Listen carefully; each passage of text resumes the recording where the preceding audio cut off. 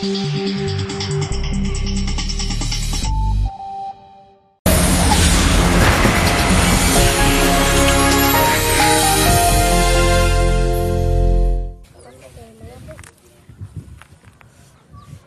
generations, this family of fishers have lived from the sea.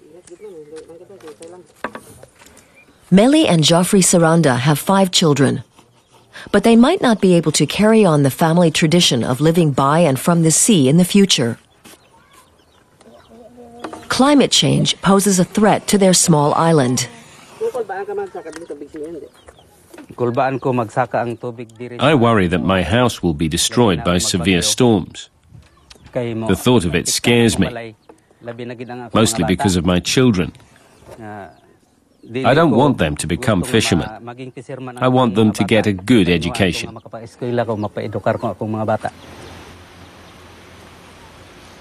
The nearby island of Negros is responsible for part of the climate change problem. Sugarcane fields here are routinely torched after harvest, and the island's sugar factories spew carbon dioxide into the atmosphere.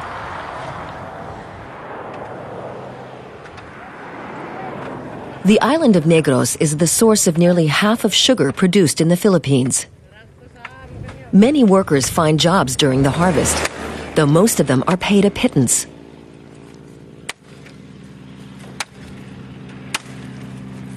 Much of the island's forests have been cleared to make room for sugarcane plantations.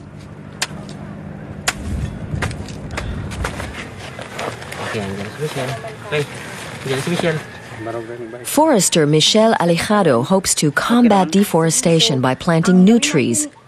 She shows workers at a nursery how new forests can be produced using indigenous seeds. San Carlos City has supported the project for four years. Workers here are able to grow nearly 400,000 trees each year. Uh,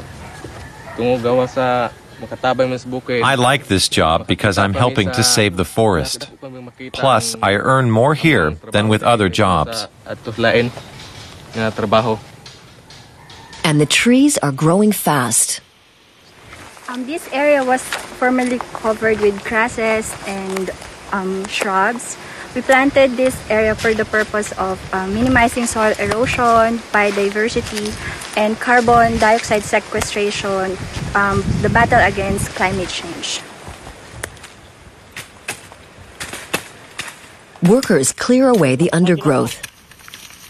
These native tree species are fast growing, and in three years, some will be cut down and used for fuel or timber.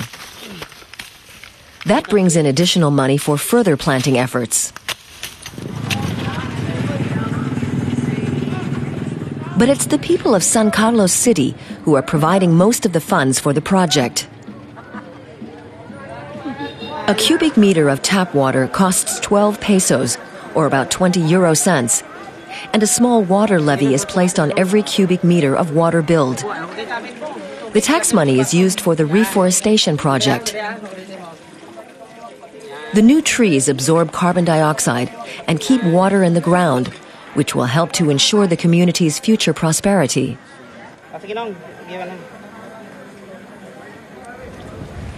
Forest manager Michel Alejado has come to talk with the mayor of San Carlos City. He developed the prize winning water peso system and oversees the project. And he has more in store for the future. Well, the challenge right now is to find uh, for uh, more land to, to plant trees to uh, maintain and rehabilitate our watershed area. And we really need the national government to cooperate with the uh, local government to implement this uh, uh, project.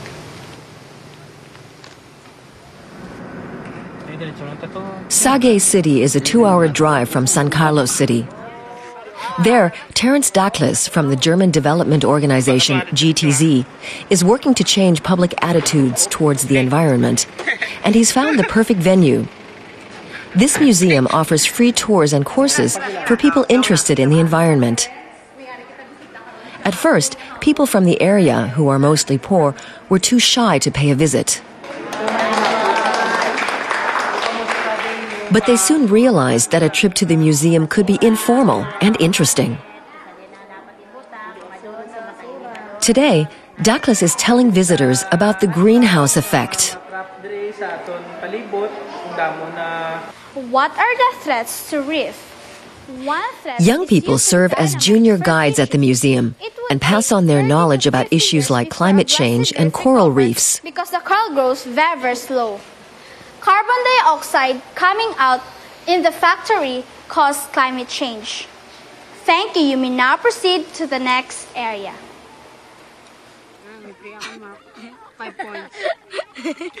Not far from the museum, children put their theoretical knowledge to work by planting mangrove trees, which help stabilize the coastline.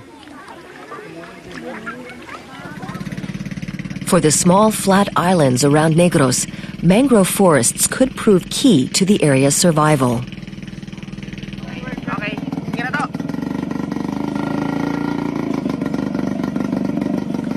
The mayor of Sagay has spent 30 years working to protect the coasts.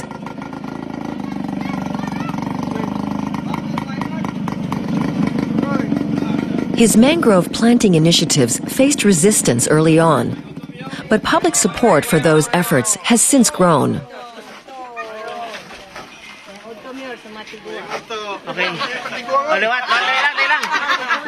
Even if it will rise up to one meter, the island will stay because there are no big wave action.